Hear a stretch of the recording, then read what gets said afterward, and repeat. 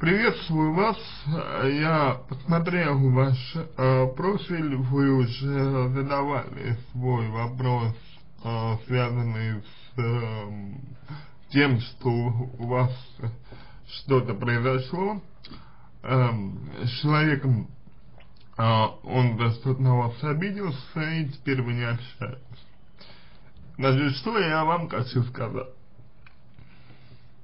Во-первых, э, скажем сразу э, так, что мужчина, э, он вот по вашему описанию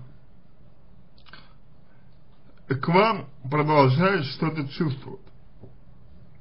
У него есть к вам какие-то чувства, в противном случае вряд ли он а, стал бы ага, вас игнорировать. То есть, если бы чувств не было, и это нужно очень хорошо понимать, и если бы не было чувств, то э, молодой человек, скорее всего, э, просто-напросто с вами бы общался, он бы с вами как-то взаимодействовал, но при этом, э, собственно, не позволял вам э, с собой сближаться. Здесь ситуация такова, что мужчина явно ведет себя изоляционно по отношению к вам. То есть он явно э, дистанцируется от вас, он явно не позволяет вам э, что-то себе говорить, что-то делать, когда общаться с собой, потому что ему что-то неприятно. И вот здесь есть важный момент, на мой взгляд, конечно, важный момент. Дело в том, что вы совершенно не описываете ни в первом своем сообщении, ни во втором своем сообщении, вы, вы не описываете того, а по какой причине, как произошло, э, что он обиделся, на что он обиделся. Ну хорошо, вы слушали мнение э, окружающих. Понятно. Но простите, а кто его не слушает? Кто не слушает мнение, мнение окружающих? Мне кажется, это не повод для того, чтобы обижаться. Да, вы говорили ему, что правильно, а что нет. Но это тоже, э, ну, как бы, нормальная жит, житейская э, ситуация. В этом нет ничего сколько-нибудь э, ненормального. Поэтому э, то, что мужчина поступил, то, как мужчина поступил по отношению к вам, мягко говоря, пока не очень понятно. Из-за того, что вы не предоставили достаточной информации относительно того, а, что у вас произошло. Условно говоря, в чем суть конфликта? Вы этого не сказали. Кроме того, что да, у вас были ссоры, кроме того, что да, у вас эм, были разногласия, но Кроме этого, больше вы ничего не, ничего не говорите. И если вы сами знаете, в чем вы были неправы, если вы сами знаете, в чем была именно ваша ошибка, прошу заметить, именно ваша ошибка, не его ваша, то просто найдите способ донести до него все, что вы хотите сказать. А, найдите способ донести до него то, что вы осознали и поняли. Попробуйте написать письмо, попробуйте э, как-то изложить свое мнение, свою точку зрения и так далее. Сделайте это. В этом нет ничего плохого и, не, и ненормального. По крайней мере, если у мужчин есть на вас обида, если у мужчины есть э, какой-то негатив по отношению к вам, он, этот негатив, может уйти, может быть снят, если вы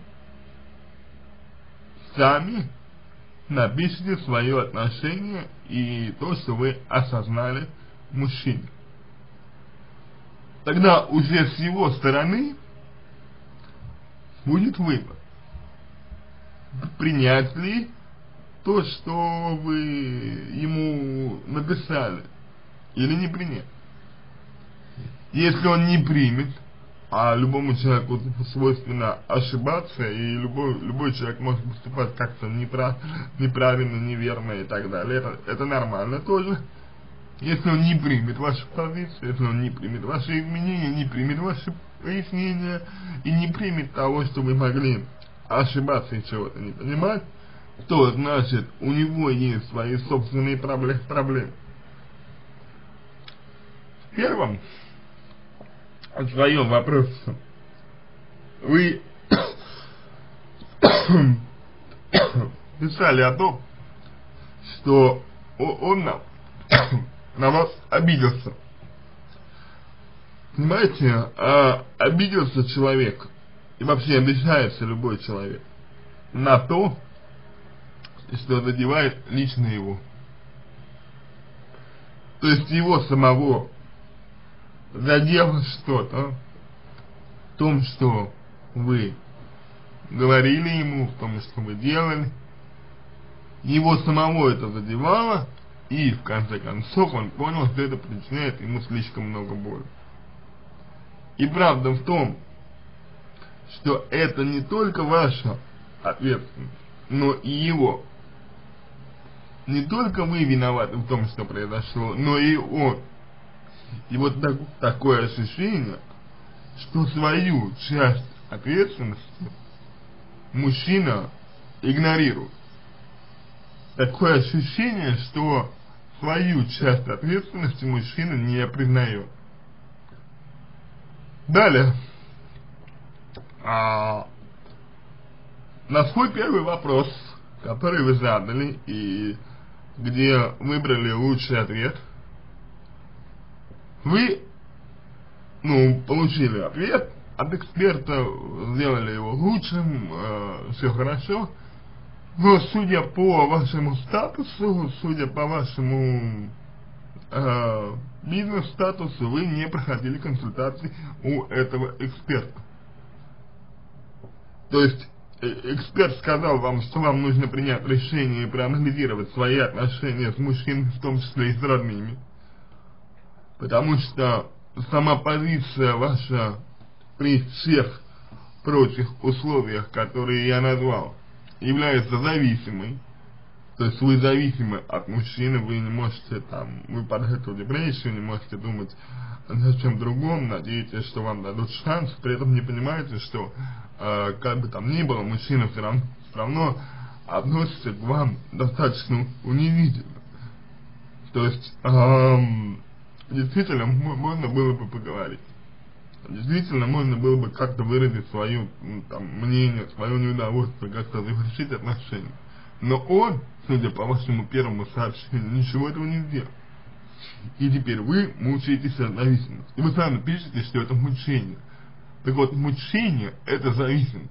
И мне непонятно, почему вы, а, сделав ответ лучшим экспертом, не проконсультировали с ним и не провели с ним же работу.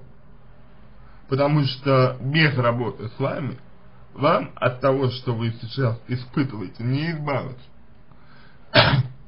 Почему? Вы думаете, что вы человека любите. И это, безусловно, так. Но к любви у вас примешиваются еще два важных и, к сожалению, негативных моментов. Первое – это синдром неоконченного действия. То есть вы планировали семью, а, планировали там быть вместе, это резко прекращ, прекращается, а вы резко перестаете стремиться к тому, что вам нужно, не можете это сделать, и возникает фрустрация. Соответственно, реакция на фрустрацию вы сейчас и испытываете. Реакция на фрустрацию сейчас вами движет. Это первое. И второе. Это перенос, а точнее корреляция э, своих потребностей, которые есть лично у вас. То есть, вот, например, идеализация мужчины. Почему вы его идеализируете? С чем связана ваша идеализация его?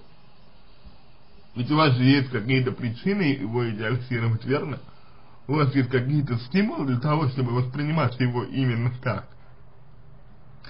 Идеализация плюс э, явно, вот на данный момент, явное отсутствие средств реализовать ваши потребности, которые вы реализовывали раньше через мужчину. Э, соединяются в вашем восприятии с любовью. То есть для вас сейчас и любовь, и фрустрация, и э, реализация ваших потребностей личных через молодого человека, все это слились, слилось воедино и образует то, что вы сейчас чувствуете. Соответственно, от любви, то есть от желания сделать человека счастливым, от стремления к тому, чтобы человек, которого вы любите, был счастлив вне зависимости от того, с вами он и, или без вас, нужно отделить эти два момента, и эти два момента с вами проработать отдельно так, чтобы они больше не влияли на ваше отношение к молодому человеку.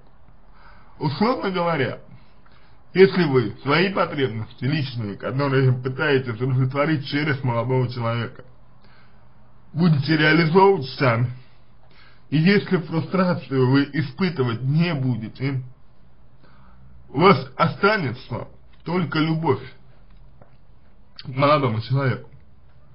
И любовь позволит вам либо его отпустить, то есть признать тот факт, что с вами он не был счастлив,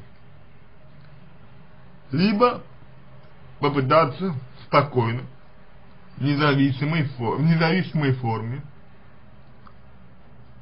э, обстоятельно донести до него все нюансы ваших отношений и попробовать их восстановить. Но только тогда, когда два личных аспекта вашего отношения э, к человеку будут убраны. Только когда два этих аспекта не будут влиять на вас. А вот это самостоятельно вы не сделаете. И это именно то, что вам нужно прорабатывать с психологом. Осознавать, что движет вами, почему вы никого не подпускаете, почему вы склонны идеализировать человека, почему, почему вы не можете жить без него, почему, почему вы впадаете в депрессию, почему вы не можете его отпустить, а, что вам мешает его отпустить, какие-то страхи, сомнения, потребности, ага, негативные модели поведения и так далее. Это одно. И второе изначальные предпосылки к тому, что вы прислушивались к чужому мнению касательно своей, своей личной жизни, тоже э, с чем-то связаны, тоже чем-то обусловлены. И вопрос заключается в том, чем до тех пор, пока это проработано не будет, ваши отношения не только эти, но и, возможно, будущее, тоже будут под угрозой. Потому что, предположим, что этого молодого человека вы забудете, предположим, что с ним вы вместе больше не будете, вступите вы в отношения с другим мужчиной, и с ним будет то же самое. С ним будет то же самое именно в контексте того, что вы будете прислушиваться э, ко мнению других людей. Почему? Потому что вы сами в себе не уверены. Потому что вы в чем-то в себе сомневаетесь. И вот это вот сомнение в себе и неуверенность, она просматривается дальше через ваши тексты. Что первый вопрос, что второй вопрос. И именно эту неуверенность в себе и нужно убирать. Путем проработки ваших недостатков, путем изменения отношений к ним и так далее. Об этом, я думаю, сейчас уже говорить э, подробно, наверное, не стоит, потому что и так много уже было сказано. Вот. То есть, э, понимаете, работа, работа вам предстоит, работа вам нужна. Не просто задать вопрос, прочитать э, или прослушать ответ, а именно работать с психологом, э, лучше познавать себя, открывать новое в себе, становиться более независимым, становиться более свободным и так далее. Дальше. Вот вы пишете, я помню его обещание, что мы всегда будем вместе. Понимаете? Обещание было дано а, тогда, когда не было определенных проблем.